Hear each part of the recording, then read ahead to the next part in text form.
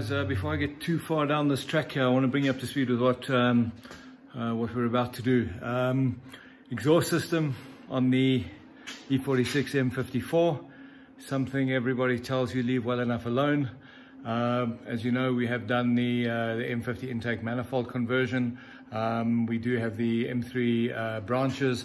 Uh, so by all accounts, um, this motor, given the right tuning, should be able to perform a little bit better up in the top end of the rev range than what we see in stock. So we're taking the plunge, we are going to do exhaust and we're going to try and then tune because currently we're trying to tune just for the um, for the intake manifold and the branches, but we still have the old restrictive exhaust uh, with some pretty butcher style um, work on the underside where where one of the, uh, where um, the the intermediate cats were removed.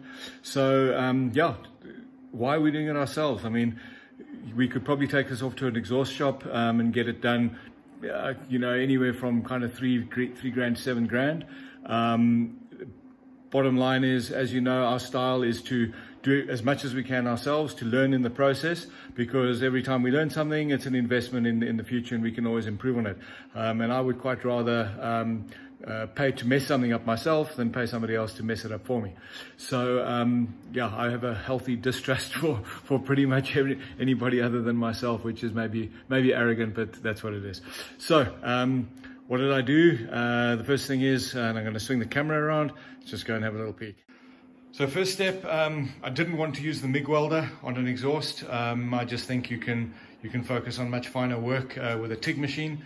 Uh, TIG machines, um, I also wanted to make sure that we got something that we could do aluminium welding as well, which meant we did need to get an AC-DC TIG machine. Uh, they're bloody expensive. I managed to pick this baby up. I think I paid four and a half grand for it. Um, the guy who sold it to me had bought it, told me he'd never used it, swore blind it worked. Um, I managed to pick up a, a full bottle of, of, of argon. Um, I think I also negotiated the guy down from two grand to 1800 bucks. Um, got it back and it's actually been sitting in the garage now for probably about three months and uh, decided to try and get it get it up and going and it wouldn't work. And I thought oh here we go. Beautiful. I've been had. Uh, turns out it was just a control cable. Um, so this this particular uh, machine requires a, a trigger input.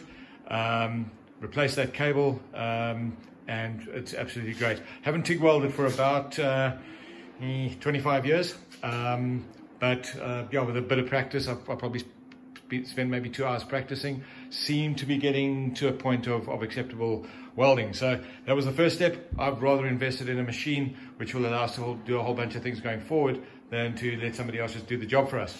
So then underneath the car, um, as you're aware, we've got the uh, the M3 headers in there, so they're cool. I just actually unbolted the um, the beginning of the of the pipe. I kind of got ahead of myself here before starting this video. I should have should have got started before I started cutting. Um, so I've just taken a piece out. I've just hacked it off here. This is actually the, the spot where um, where this intermediate section over here was basically put in by by some uh, not terribly talented exhaust um, exhaust shop uh, when they cut the cat out and I think you can see, uh, can you see? Sorry, I, I, don't know if I can turn on flash at this point, but if you have a look inside this pipe, where, where my finger is, is actually the inside diameter of the, of the, of the pipe that they've put in. That's how badly they've misaligned it. I mean, it's literally better part of, of, of, a, of a centimeter. So this gnarly piece comes out and then uh, we carry on through. We've got the resonator box here. It's like a little mystery. Nobody knows what it does, but I suspect this is actually what BMW uses to tune the, the scavenging pulse length. Um, so you'll probably find there's some kind of crossover or branch inside this box. Once we have it out, we will mutilate that and have a, have a look.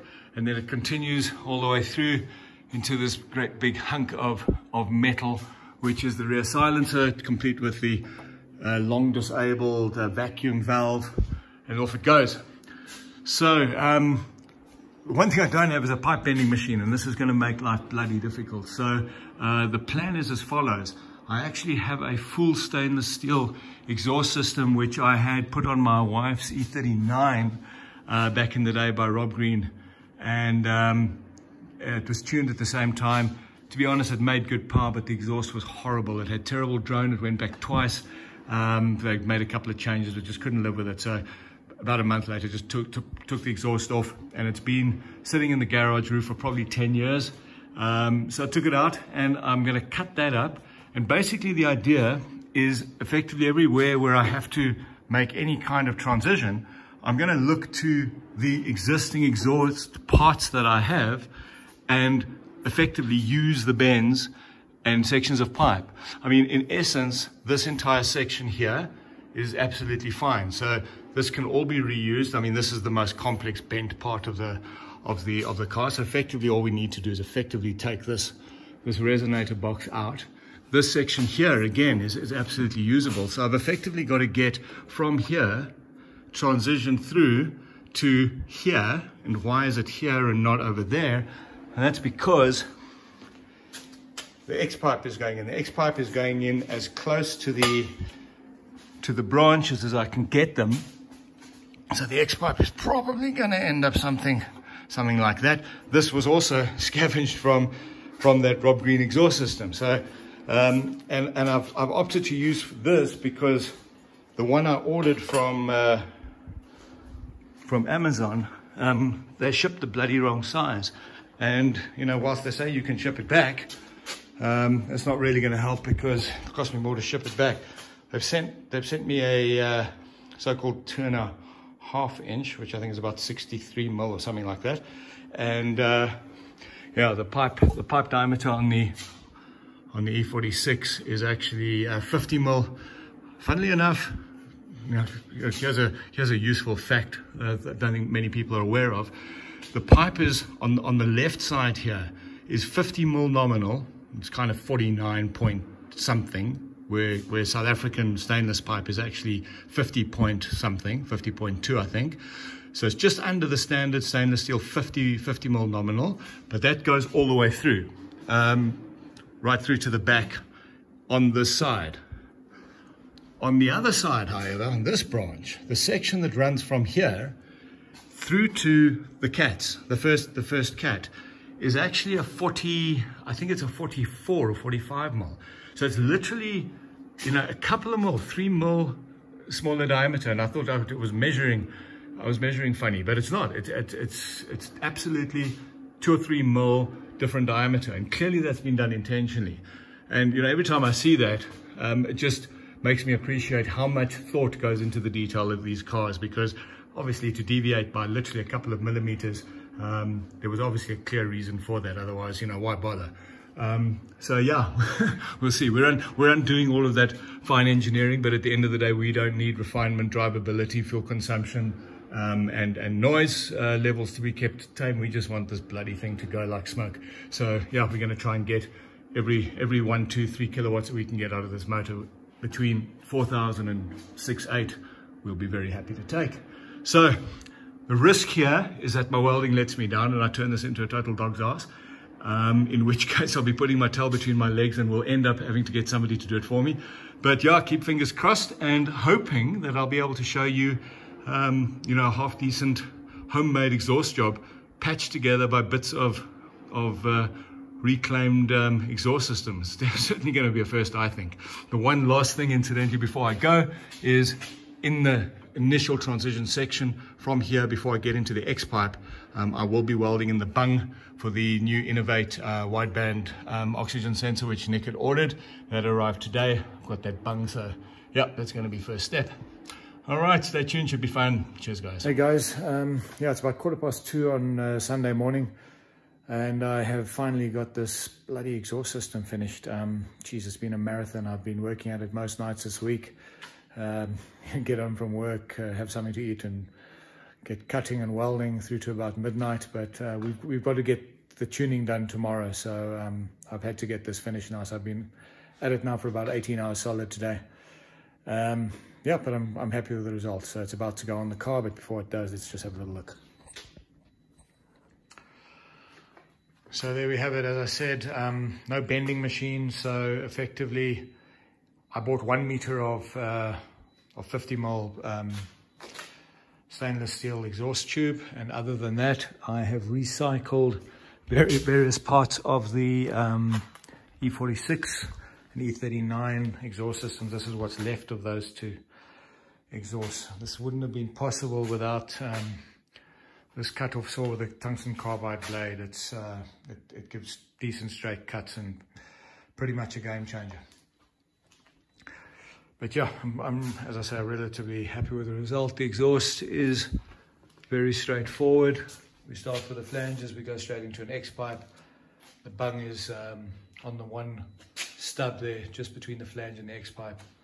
And then it just goes on straight through all the way to the back. Uh, these two little silencers were intermediate silencers. There were four of them on the E39 and then a big back box. So I don't think these are going to do too much silencing, but um, uh, hopefully just take the edge off things. Uh, yeah, total I think of 23 different little pieces of pipe that I had to select and cut and fettle to get it all together. And then uh, with my novice TIG skills, weld it all up. Um, obviously TIG is very forgiving, but um, if your fit up is bad, it's an absolute nightmare. Um, and getting the, um, the pipes to kind of stay aligned when you're trying to tack them up Sometimes you need three hands. Um, magnets play havoc uh, with your uh, with your gas cone on the uh, on the TIG torch. So it's been I've used up all of my swear words for March and April already. Um, but yeah, happy with the results. I'm going to get it on the car now, and uh, we'll see what it what it's like. All right, guys, uh, I've got the exhaust back in. Mm, there we go.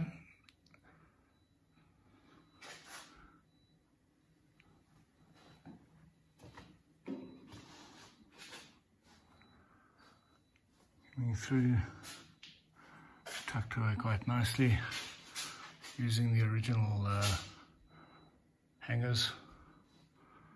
So yeah I think it's um, fits quite fine. It looks a little odd with the with the spacing of the two tailpipes. Obviously a lot wider than if you've just got a dual outlet on a on a two into out um, silencer. But um, this is basically the way it pops out using these these two little uh, individual silencers. So yeah, hope, hope it works and um, hope the tuning goes well because uh, this will definitely lose power for us if uh, with, with the stock tune. So uh, we're definitely going to need to get some uh, some changes done in the ECU to make sure that this actually works for us and not against us. All right, we'll let you know how it goes tomorrow.